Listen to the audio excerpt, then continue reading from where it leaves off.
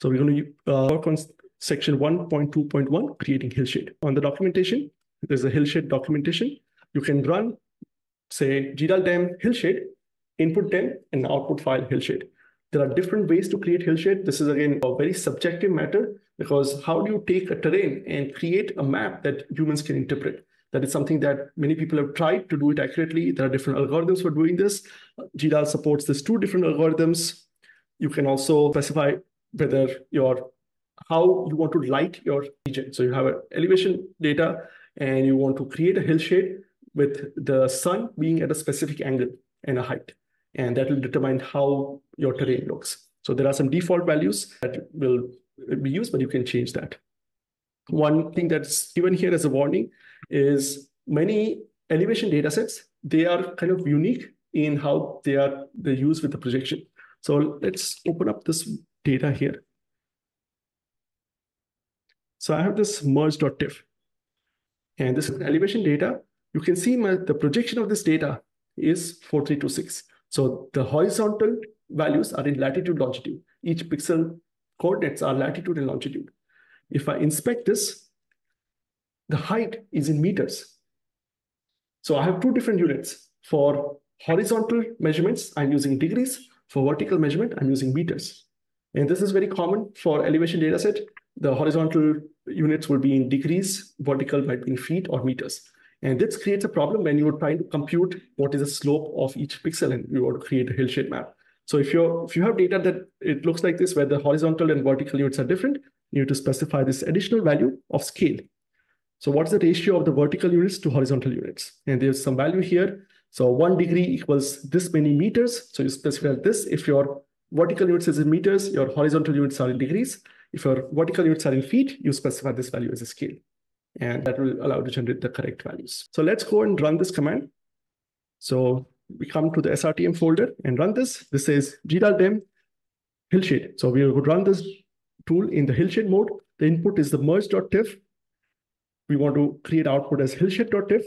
And since our horizontal and vertical units are different, we specify the scale value, which is the ratio of degrees to meters. So one degree is equal to this many meters. So we run this.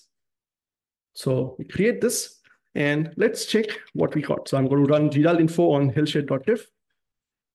You can see this is a regular GeoTIFF file, but if you notice, the data type is byte.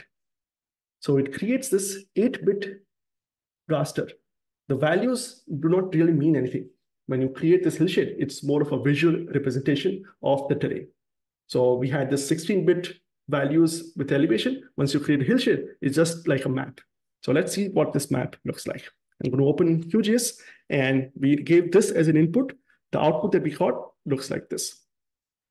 So this is the hillshade that was created using GDAL. Let's zoom in a little bit and you can see this is what is created. So if our original elevation values were like this, that means each pixel represents the value of elevation of this pixel.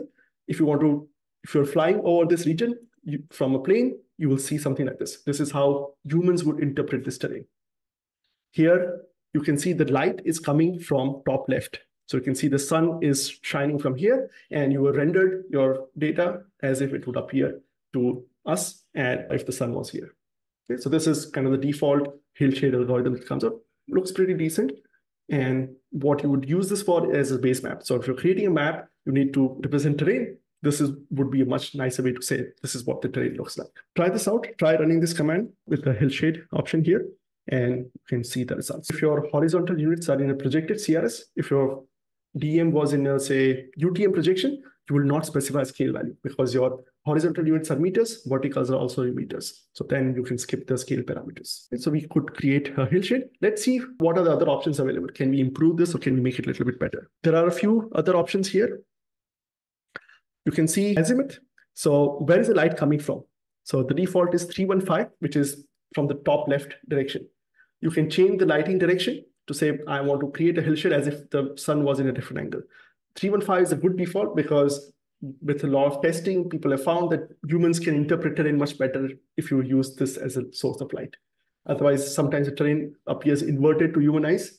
It would feel like the, the are valleys and so on. So this is a good default, but there's a better improvement to this.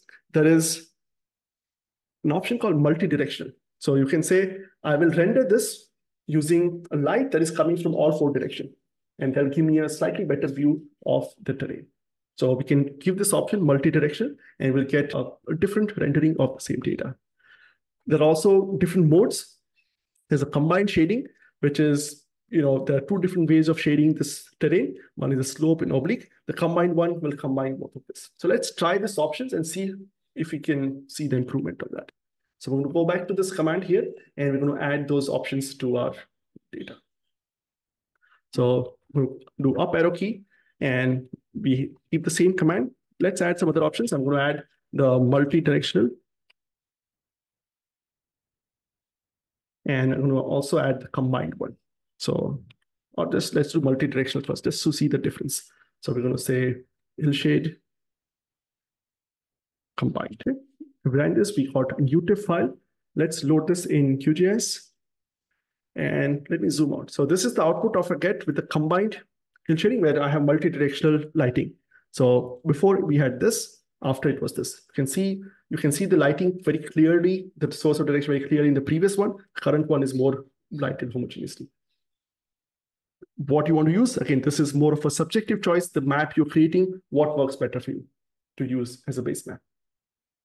GDAL gives you this option to try different things and you can use this. So I would, all of you can try this out, try the multi-directional one, save it as a new file, load both of them and compare the difference on your own machine so you can see how they are different. Over the years, the, the best relief maps were created by the cartographers from Swiss Topo. If anybody has seen those maps, this is what those maps look like. This is a kind of hand-drawn, hand-shaded map of a terrain created by the cartographers at Swiss Topo. Really famous maps. They have this unique style of creating this shading, and nobody was able to replicate this using computers because this is based on human subjective interpretation. So people would just sit and draw this map by hand and create the shading. So these are very popular, and this was the gold standard for creating this relief map. Compare this, what you see here, with what we created. This is good, but nothing as close as what you can get with this manual styling. So if you take a map, a really beautiful map, and you see this kind of relief shading, likely it's in kind of created manually by hand. Since, since longest time, nobody could replicate this. Till recently, somebody tried saying that we have neural networks now. We have deep learning models. Can we train a deep learning model to create a hillshade from a DEM based on this style? Can we say, take this input, try to replicate this output? we can we have a lot of training samples because we have this historic database of maps created by Swiss Topo cartographers. Can we train a neural, neural network? And I have linked to this paper here, cartographic relief shading with neural networks. And people tried this and they were successful in doing so. They have a neural network model that was able to replicate the style of the Swiss topo cartographers. And if you see some examples, they are incredible that you can now give any DEM and it's able to create this kind of relief shading style that you do this. So again, they go through how they train the model. It's a kind of typical CNN model. And again, you can see there are different modes of doing this. And in the testing, they found to be quite comparable to ocean training data. So this is amazing. They've also productionized this so if you want to say, I love this, I want to do this, there is also a software which they have produced, which you install it and run this with your own DEM, and it'll create this cartographic relief shading for your data. And it's a paid software, it's not free, but it's available to you if you want to try this out. It's also, there's a demo version available. So if you can try this out and see how it works for you. So this is the current state of the art in relief shading where you are combining the best of humans with the best of machines and you're able to create this. Otherwise, if you want to do this with currently available algorithms, GDAL gives you all these options to be able to create this. There's a question around, can we change the altitude of the sun? Yes, so that is a option here on altitude. So if you say dash alt, uh, it'll be altitude of light. So by default, I think it's 45 degrees, but you can change the altitude of light and the light elevation will change from where the light is coming from. So dash ALT is the flag for that.